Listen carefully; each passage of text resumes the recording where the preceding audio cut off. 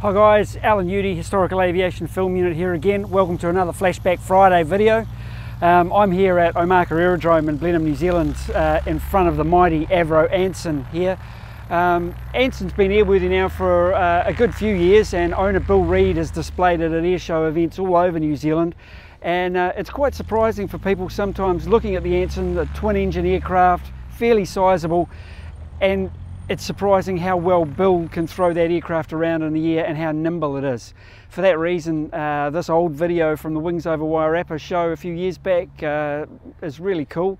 Um, so sit back, watch and enjoy Flashback Friday with the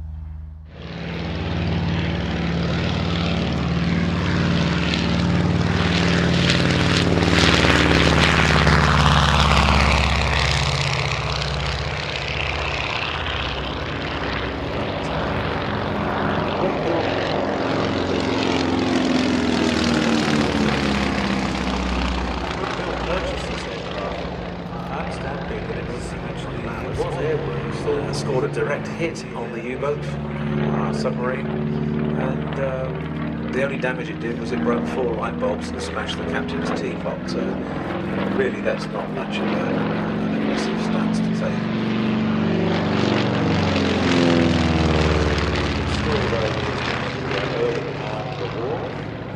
Coastal, uh, coastal reconnaissance. This particular initially as uh, bombers, served with uh, all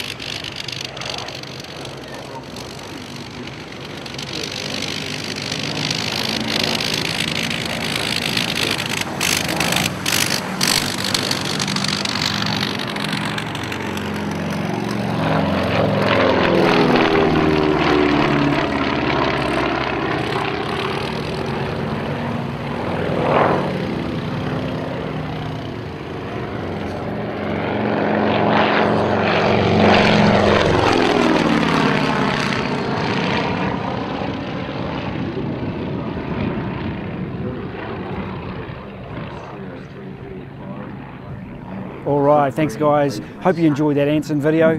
Uh, if you want to support the Historical Aviation Film Unit, please hit the join button now, sign up, become one of our members, and uh, you'll not only be supporting us to continue to make movies like this, but you'll also get access to a range of perks, uh, which will be great for you.